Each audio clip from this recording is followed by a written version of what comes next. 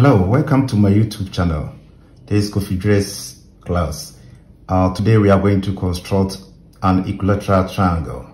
Please don't forget to subscribe, share and like this video.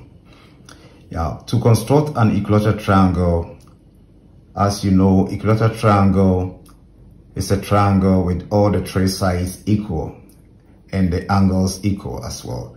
So uh, we are going to construct an equilateral triangle of size 15 centimeters.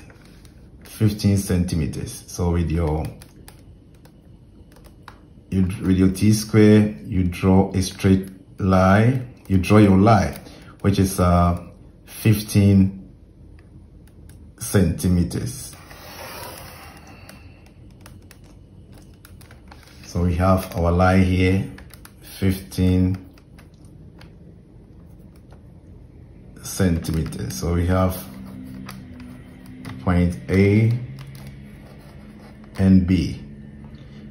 This means point C from A distance that is a line AC is going to be 15 centimeters and BC 15 centimeters. So after drawing this line, you measure 15 centimeters. Yeah. So now at point A, you draw an arc. At point B, you draw another arc.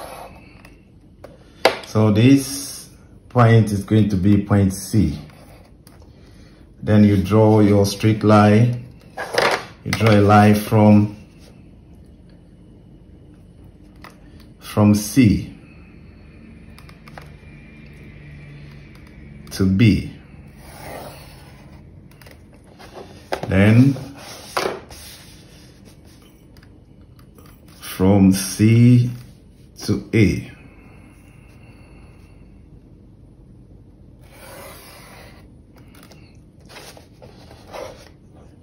Yeah, so we have our equilateral triangle. That is the distance from here, that is AB, 15 centimeters, BC, 15 centimeters, and AC, 15 centimeters.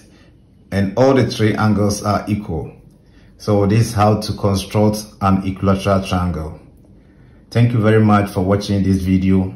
Please don't forget to subscribe, share, and like this video. See you in my next video. Bye.